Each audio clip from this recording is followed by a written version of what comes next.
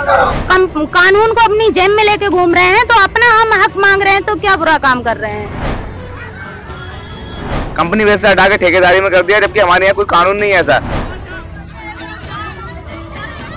प्रशासनिक अधिकारियों की क्या मजबूरियाँ हैं जो कंपनी प्रबंधकों के वो बंधक बन चुके हैं? अपना अधिकार मांगते चार जनवरी से लगातार इन लोगों को जानकारी देते हुए आए कि डॉल्फिन कंपनी प्रबंधक मजदूरों को ज़बरदस्ती ठेके में ढकेल रहा है। एडीएम साहब ने हमसे ये भी कह दिया हमारी लास्ट वार्ता के दौरान कि आप जो है कलेक्टेड परिसर के अंदर दिखाई भी मत देना। इस वक्त मैं मौजूद हूँ उत्तराखंड रुद्रपुर उधम सिंह नगर ज़िले में पंतनगर सिटकुल में। साथियों यहाँ एक बहुत बड़ा धरना प्रदर्शन चल रहा है जो कि पिछले 35 दिनों से श्रमिकों का कर्मचारियों का मजदूरों का एक संगठन इस धरने पर बैठा है। किन मांगों को लेकर ये धरने प्रदर्शन में बैठे हैं? क्या नाम है आपका? ललित कुमार। क्या मांगे हैं आपकी? हमारी मांग यही है कि आपने, हमारी डॉल्फिन कंपनी है, अभी तक हमारे यहाँ सारे के सारे बंदे सौ परसेंट लोग कंपनी बेस पे थे। लेकिन अब जो कंपनी बेस बंदे थे, उन्हें ठेकेदारी में कर दिया। तो हमारी मांग यही है कि आपने जिन लोगों को कंपनी बेस से हटा के ठेकेदारी में कर दिया, जबकि हमारे यहाँ कोई कानून नहीं है ऐसा। उन्हें दोबारा परमानेंट किया जाए, उन्हें परमानेंट लेटर दिया जाए, और जो न्यूनतम सैलरी है, वो न्यूनतम सैलरी भारत सरकार के दिन जितनी मिलनी है, वो हमें मिले। और हमें बोनस जो बोनस ऐड करे बोनस है वो हमें मिलना चाहिए। हमारी बस यही मांग है और हमारी ये मांग है, क्योंकि हम दस दस साल पंद्रह पंद्रह साल से काम कर रहे हैं, हम आज भी न्यूनतम सैलरी में। तो हमारी ये मांग है कि हमारी पच्चीस परसेंट सैलरी में बढ़ोतरी करी जाए। और हमारी कोई मांग नहीं है और हमारी यही मांग है, कोई मांग नहीं है। लेकिन हम यहाँ पैंतीस दिनों से बैठे हैं, यहाँ से डीएम सभी के लिए हमने ज्ञापन दे दिया है। सर, लगभग 35 दिनों से आप लोग इस धरने प्रदर्शन में बैठे हैं। अब तक आपकी सुनवाई नहीं हो पा रही है। आप लगातार इस धरने प्रदर्शन को आगे बढ़ाते चले जा रहे हैं। अब तक आप लोग शासन प्रशासन के पास भी शायद गए हैं तो आपकी किस तरह से कहाँ तक सुनवाई हो पा रही है? या प्रशासन आपके इस मामले को संज्ञान में ले रहा है कि नहीं ले रहा है? प्रशासनिक अधिकारियों की क्या मजबूरियाँ हैं? जो कंपनी प्रबंधकों के वो बंधक बन चुके हैं।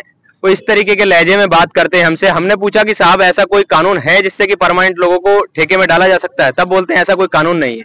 जब ऐसा कोई कानून नहीं है तो ऐसा हुआ ना? परमानेंट लोगों को ठेके में डाला गया। तो आपने कंपनी के विरुद्ध क्यों नहीं कोई उचित कार्रवाई करी? कोई भी कार्रवाई कंपनी के खिलाफ नहीं करते हैं और कंपनी मालिकों के ये लोग गुलाम बन चुके हैं पूरी तरीके से। और अभी जो है एडीएम साहब ने हमसे ये भी कह दिया हमारी लास्ट वार्ता के दौरान कि आप जो है कलेक्टेड परिसर के अंदर दिखाई भी मत देना। तो एडीएम साहब से आपकी वार्ता हुई है? एडीएम साहब के समक्ष एक कमेटी बनाई गई थी जिस कमेटी के अध्यक्ष एडीएम साहब थे। तो उन्होंने ये कह दिया लास्ट वार्ता में कि अगर आप मेरे इस समझौते को नहीं मानते हो एक हास्यास्पद समझौता था। कि आप 50 प्रतिशत श्रमिकों को अंदर भेज दो और 50 प्रतिशत श्रमिक बाहर रह जाओ।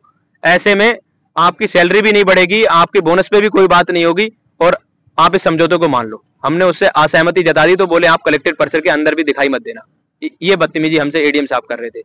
अब बताओ ऐसे में हम मजदूर कहाँ जाए? तो आप लोगों ने और भी बड़े जो उत्तराखंड के आला अफसर हैं प्रशासनिक शासन के लोग हैं उन लोगों से कोई बातचीत नहीं की? बिल्कुल की। सभी प्रशासनिक अधिकारियों को हमने ज्ञापन दिए हैं। यहाँ से डीआईजी साहब से लेकर और क्या नाम है, जो कुमाऊं कमिश्नर हैं दीपक रावत जी, उन्हें भी ज्ञापन दिया। हमने यहाँ के डीएम साहब को भी ज्ञापन दिया। यहाँ के श्रम विभाग में एएलसी डीएलसी और एलसी महोदय को भी ज्ञापन दिए। लेकिन वो लोग अगर हमारी सुनते तो हमें आज धरने पे बैठने की स्थिति पैदा नहीं होती। हम चार जनवरी से लगातार इन लोगों को जानकारी देते हुए आए कि डॉल्फिन कंपनी प्रबंधक मजदूरों को ज़बरदस्ती ठेके में ढकेल रहा है। और इस पर तत्काल रोक लगाई जाए, लेकिन इन लोगों ने हमारी नहीं सुनी। मजबूरन आकर इन्होंने हज़ारों श्रमिकों को ठेके में डलवा दिया। उसके बाद हम मजदूर लोग यहाँ पर को धरने पर बैठे 28 अगस्त को। आज हमें 35 दिन हो गए यहाँ पर को बैठे हुए। 35 दिनों में भी इन लोगों ने कोई भी सुनवाई नहीं करी और बार बार जब भी वार्ताएँ होती हैं तो ये धमकी दी जाती है कि तुम्हें, तुम्हारे मामले को कोर्ट रेफर कर देते, कोर्ट ही सुनेगा तुम्हें। इस तरीके की धमकी। जी, बिल्कुल इस तरह से इन लोगों की तमाम जो मांगे हैं, उन मांगों को लेकर के ये लोग आज भी धरने में बैठे हैं और उनकी मांग है तो ये आरोप भी लगा रहे हैं कि हमने 35 दिनों से तमाम ऐसी मांगों को लेकर शासन, प्रशासन व्यक्ति के पास गए हैं। अभी तक वो कोई मामले को संज्ञान में नहीं ले रहे हैं। उन्होंने जो यहाँ के एसएसपी महोदय हैं, उनका एक बयान आया था। उस बयान में उन्होंने कहा था कि जो बाहरी लोग हैं, वो इस सिडकुल का माहौल बिगाड़ने की कोशिश कर रहे हैं। तो हम बात करेंगे आखिर वो बाहरी लोग हैं, कौन है ऐसे जो इस माहौल को बिगाड़ने की कोशिश कर रहे हैं। बाकी महिला भी हमारे इस आंदोलन में हमें दिखाई दे रही है उनसे भी बात करेंगे। जी, क्या नाम है आपका? मेरा नाम सुनीता है, मैं डॉल्फिन कंपनी में पाँच साल से कार्यरत हूँ।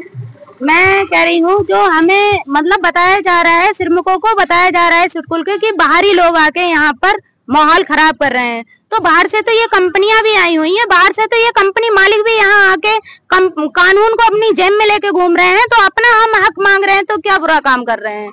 और इसके लिए हमें जिला प्रशासन बता रहे हैं कि हम बाहरी लोग, क्या हमारा क्या हम भारत में नहीं है? क्या हमारे पास नारी हम भारत के नागरिक नहीं है? अगर उन्होंने पहले से ऐसा कुछ बनाया है कि उत्तराखंड के लोग ही यहाँ पर काम कर सकते हैं, बाहर से लोग आकर के काम नहीं कर सकते हैं तो फिर ये बताएँ हमारे लिए। ऐसा कुछ यहाँ पर अगर चलेगा जब तक हम कानून को अगर उछाला जाएगा श्रम कानून को इन लोगों ने धज्जियाँ उड़ा रखी हैं। श्रम कानून लागू कराने की हम लोग बात कर रहे हैं तो ये लोग हमें परेशान कर रहे हैं और ये परेशान जब तक करते रहेंगे हम परेशान होते रहेंगे। तो आगे आप लोगों ने जो महिलाएँ हैं इस आंदोलन में मैं पिछली बार, बार आया था इस आंदोलन को मैंने अपने चैनल पे दिखाया था। तो तमाम ऐसी महिलाएँ यहाँ दिखाई मुझे दी जिन्होंने तमाम मांगों को लेकर के इस प्रदर्शन में बैठी हुई थी। लेकिन आज मैं देख रहा हूँ आज अकेले आप इस आंदोलन पे बैठी हुई हैं तो बाकी लगभग मुझे लग रहा है कि लोग अब धीरे धीरे किनारे हो रहे हैं। आप कब तक ऐसे इस, धरने में कब तक चल पाओगे? नहीं ऐसा कुछ नहीं है सर। मतलब धीरे धीरे करके लोग अपने घर जा रहे हैं। यहाँ से कोई ऑटो मिलता है या नहीं मिलता है इसीलिए लेडीजें घर चली गई हैं। कंपनी में कोई नहीं गया। सब अपनी अपनी मांगों को लेके यहाँ पर बैठते हैं। सब लोग लड़ाई के लिए एक्टिव हैं। जब तक आप लोगों को आपकी मांगे पूरी नहीं की जाएँगी आप लोग ऐसे ही धरने पर डटे रहेंगे। हम लोग यही धरने पे बैठे रहेंगे और कल दो अक्टूबर है दो अक्टूबर को हम गांधी पार्क में भूख हड़ताल पर कल सारे लोग डॉल्फिन के जो सिरमे के यहाँ पर बैठे हैं हड़ताल पर सारे लोग ही भूख हड़ताल पे बैठेंगे हम।